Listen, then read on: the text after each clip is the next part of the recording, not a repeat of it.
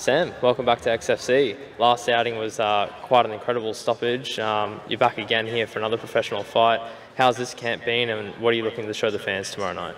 Uh, camp's been well. Uh, we always prepare well um, every time we get into the cage. So uh, just keen to get back in there again and um, showcase our skills. Very much anticipated rematch here. You know, tomorrow night, you know, how do you see this fight playing out for yourself and what do you want to try and display to the XFC crowd? This fight's all about uh, redemption tomorrow night, so I uh, can't wait to get in there and um, bring them to Suplex City.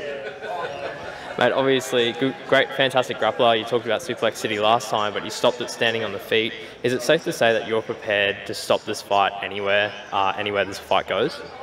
Uh, yeah, we train in everything, and we're prepared for uh, whatever is thrown at us, and we can finish it uh, at any moment with um, with whatever. So we're prepared for everything. So, yeah. yeah. Mate, fantastic. Thank you very much for your time. We'll see you tomorrow night. Nick, weights made, rematch tomorrow, title fight. Run me through how you're feeling. Um, great, mate. Um, camp's been well. I've worked, worked hard on a lot of things and uh, just decided to get in there and uh, get the job done. I guess what a lot of fans might be thinking or asking themselves is, you know, how does this fight different from the first one? Um, I wouldn't say any much different.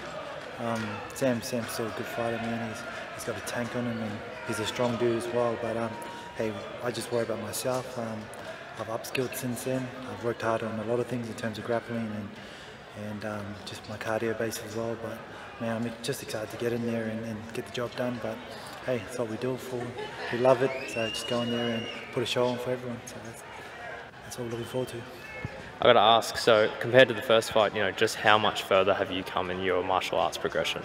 Well, since we first, since we fought last week, about a year ago. But yeah, I took I took a loss um, after that, and I felt, man, I, I grew a lot from that loss, and um, just became a lot more hungry.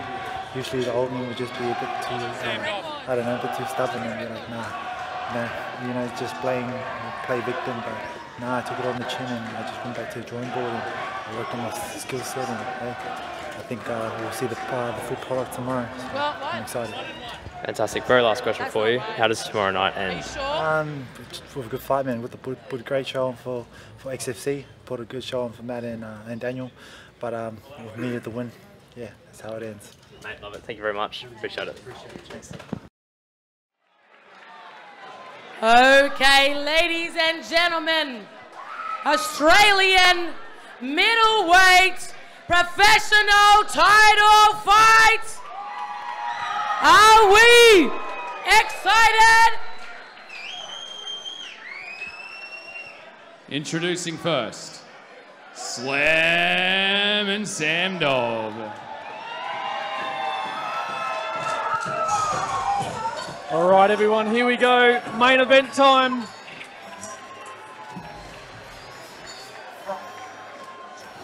And as we heard Bella say before, Australian XFC title. All hail to the king, Brogan Anderson, watching in intently over in New Zealand right now for the winner. Unfortunately, uh, dealing with COVID the last couple of years, we all know that international travel is impossible. So while Brogan Anderson sits on the throne in New Zealand right now as the true middleweight champion and light heavyweight champion, Right now, we see Sam Dobb and Nick Kepu fight for the Australian middleweight title, with hopefully the winner then having a super fight with Brogan Anderson. And here we have Slam and Sam making his entry. And what a support crowd he has with him. There was a bit of a Kepu, Dobby going off in the crowd earlier. How lucky we are that uh, it seems like the supporters are on opposite sides of the cage. I'm not sure about luck, Matt. We're in the middle.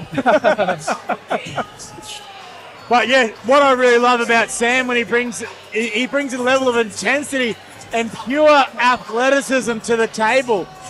Just a beast of a man who doesn't seem to get tired. And as he's gone from his amateur to professional ranks, he's really dialed in the weight cut, gets it down in place right, and hasn't lost any of the power. Here's something wild you might not know about Sam Dobb. Is they are actually considering a move to welterweight eventually. Wow. Yeah. So Sam has won the amateur light heavyweight belt as he looks to be possibly the second or third, I believe, to go on and win the professional belt as well, following Aaron Tao. He's certainly feeling it now, very relaxed, getting his last instruction before stepping in the cage. And for those who don't know, Slamming Sam comes from Suplex City. In his first fight, just decided to Ladies and ragdoll. gentlemen, please welcome Nick Kepu. Stints in the cage from uh, Sam's debut fight, where he threw Joe, Joel Fotofili over his shoulder probably 16 times. Made for a nice little highlights package. So what's your highlights, Peggy? Oh, just my first fight, that's it. and here we have Slick Nick Kepu walking out. And as you saw in the interview beforehand, this is a bit of a grudge match. These two have fought before for their both making their pro debut. And Nick got the better of him in that instance. We saw a lot from that fight in regards to really slick wrestling and really good quality high level striking. And Nick did enough on that night to get his hand raised. Sam wants to reverse that decision and make it something for this one, getting the belt for the Australian title. And again, awesome to see how just active these boys are. As I said, we knew uh, Sam fought only three months ago in the uh, the main event, backing up again, and this time again for that Australian title. I got no idea where this fight goes. It is a as 50-50 a title fight you could, as you could make, I think.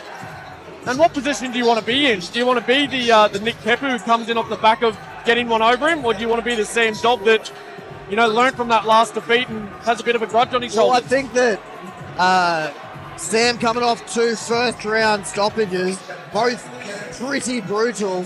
I think bringing that confidence, like building that confidence back up after taking that loss, I just feel like, yeah. But then you've got the advantage of knowing you can beat the guy if you've already beaten him. You know.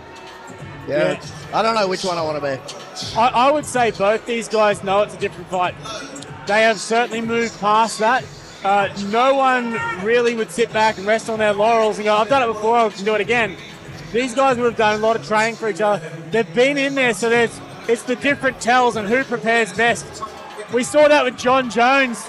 At any time he's had a second fight with someone, he comes back even stronger. We'll see what happens here with these two gentlemen. I find the difference in demeanor is really interesting. Nick Kepu is like real chill and floppy, and Sam Dobb looks like he's at a gajillion RPM all the time. Nick We're had- about to see a completely different atmosphere as well. There is no seats closer than the Mansfield Tavern, and there's no crowd louder than an XFC crowd as well. So, again, second time they've fought, but this is the first time they've fought. Before I introduce this, you've got to take a look at the pandemonium in the crowd right now.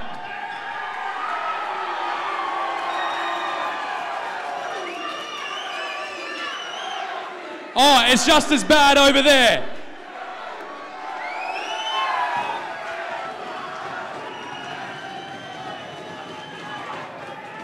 Where were we?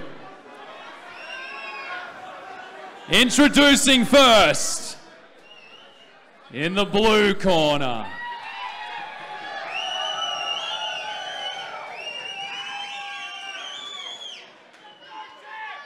Weighing in at 83 kilos. With a professional record of two wins, one loss. Fighting out of Carlson Gracie team.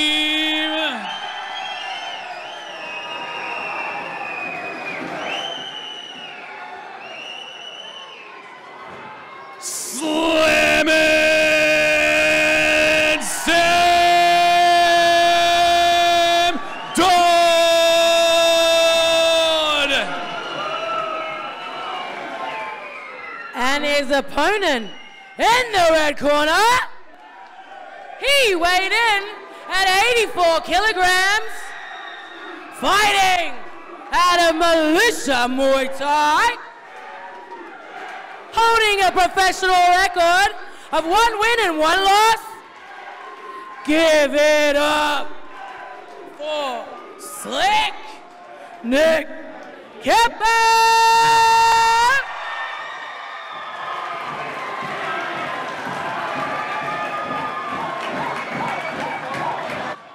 All right, gentlemen, you both know the rules. I expect you to listen to my instructions at all times. Protect yourself at all times, or I will do it for you. If you want to touch gloves, do it now. Come out swinging. Your referee in charge is Thomas Churchill.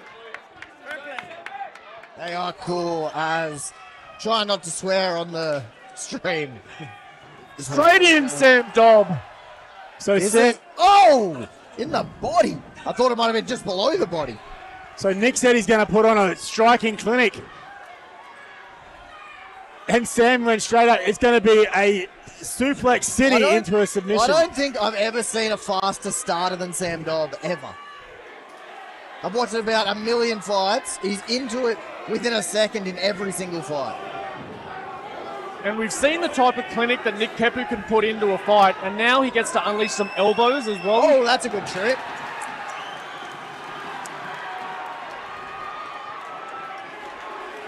Yep. So- Sam Dobb has a point to prove in this rematch. He's got him in a really good position at this stage. Oh, crucifixed him against the fence. Nick's done a great job of getting that arm back, but Sam's put it straight That- back in there. Just that head pressure. Oh, but he's lost the arm though. Nick doing a great job to get back up. Are you going for another ride though?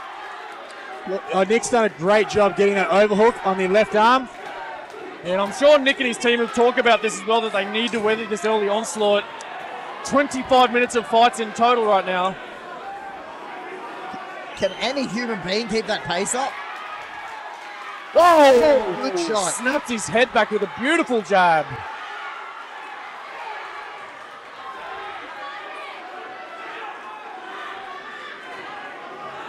And Nick is Nick is sporting quite a big advantage in in, uh, Here he goes. in reach. Yeah, I think I, I think I kind of saw uh, Sam Dobb blinking a couple of times there, so he might have uh, might have copped one across the eye there. Is he going to take a right? Oh, slick Nick. So Nick has a 21 centimeter reach advantage. So you can see why he's standing on the outside, just picking him off, and Sam's trying to close that distance. Sam seems like he's spent a lot of energy in the first couple of minutes. Nick's done a great job to get back and find the exact range he wants to be at. This is exactly where Nick has the advantage, just out at the out at striking range. And I tell you what, as big as Sam Dobb looks, doesn't Nick Kepu look humongous right now? He does. He's probably as thick and a little bit taller even. Yeah, he's, cer- he's certainly got the height advantage over. He's 10 centimeters taller than Sam, and as I mentioned before, a 21 centimeter reach advantage. Oh, beautiful Nick Kepu. A couple of times he's tried leading with that left uh, kind of uppercut hook. And I mentioned that last time. Sam came out really strong in his first fight, and then Nick just put it on him. And you can see a little bit of that same fight pattern this time. Good entry. Wow, that Whoa. shifted the cage two inches. Huge takedown.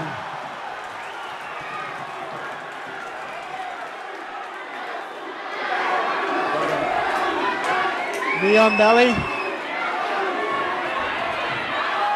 Oh, he's on his back. He's got the choke. No, but he's in a very good position right here. Sam got raining Got down the the, front elbows. now. And heaps of time to move as well. Oh, A full 1 minute 30. Thomas Churchill having a look here. is he going to attack the submission or just keep punching? I'm thinking Sam and Sam's liking the elbows. Wow! Oh my yeah. gosh! Churchill stops the fight! Wow. Is Nick out? Nick is out and unconscious on the fence. No? Uh, no, Nick's still there. Just disappointed. A mouth before my brain, like always.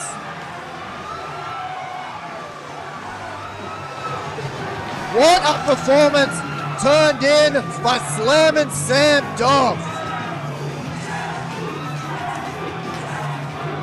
I love the sportsmanship between the two.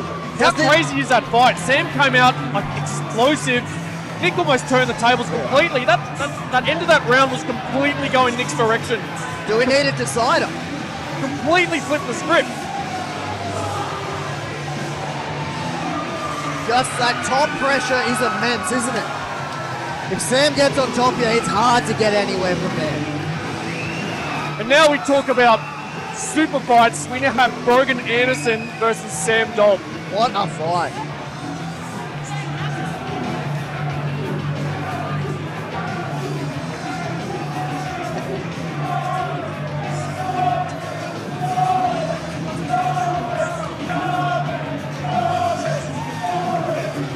Really like the fact Sam knows how to work a crowd as well and get them involved. I was really impressed with some of Nick's exchange within that fight as well. Oh, again, I could watch that fight a million times. But it, how brutal is this sport? You know, the, the highest highs, the lowest lows. Yeah. Nick, you know, weathers the storm, starts winning his own battle, and then again it just gets completely flipped on his head. I do like a redemption story too, you know. It would have, it kind of gives it a little bit extra grunt that one day we could definitely see him fight again down the track and find out real decider fight. Oh, what a performance turned in by Sam though.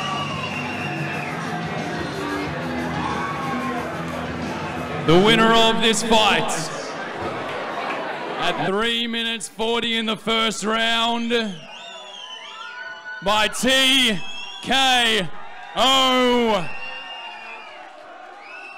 And new Australian middleweight champion in the blue corner, slamming Sam Dobb.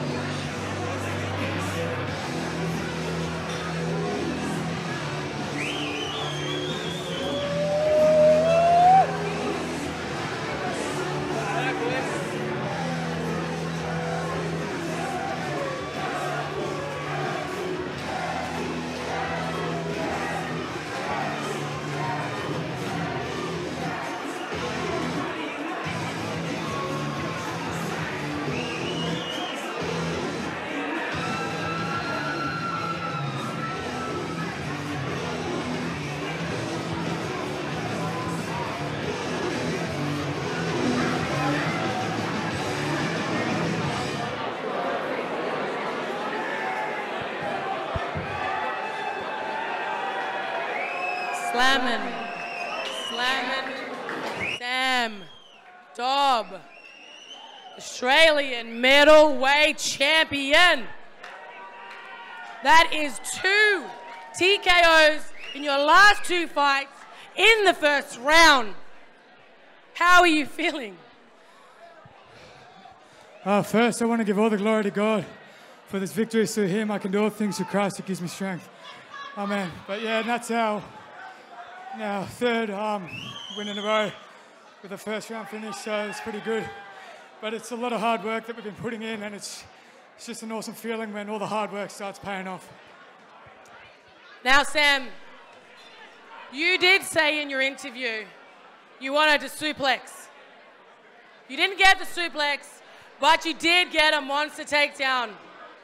How were you thinking it was going to go, and were you happy with the end result, obviously? Yeah, Slam and Sam, so any takedown will do. Any takedown will do. Okay, there is a name that I'm thinking. Brogan Anderson. He is watching you right now with this bad boy. Any words for him? I'm just going to enjoy tonight. Um, we're going to get back into training. We're ready for whatever comes next. I'm comfortable and confident with the team I have around me. So I'm just going to enjoy tonight, have a couple beers with the boys, get back to the drawing board on Monday and go from there. There's a lot of people here for you. Anyone you want to mention? Yeah, I want to thank um, all my coaches, my training partners, everyone that's put in time with me. I really appreciate it. All the hard work, everything we do together, I really appreciate it. I want to thank Pedro for supporting me. I want to thank this XFC crowd, all the boys. All the boys, I love you so much. Thank you for coming and supporting us always. And everybody who's watching at home that couldn't make it down in Canberra, I love you guys. We'll catch up soon. Let's party, baby. Ladies and gentlemen, your champion middleweight Australian champ of XFC, Slamming Sam Dobb. Thank you for all of you streaming this at home and, of course, all of you in attendance. It couldn't have happened without 40 Winks, Oxley, and Logan, Counterpunch Tattoo Removals, and Havoc, and, of course, the hard-working staff here at XFC. We're not going anywhere. We're doing massive things in 2022. Keep clicking back to our socials. XFC Australia on Instagram. That's a good place to go. And Bella, it's been a pleasure as always. And it has been a pleasure with you too. We will see you in June, guys. XFC 50.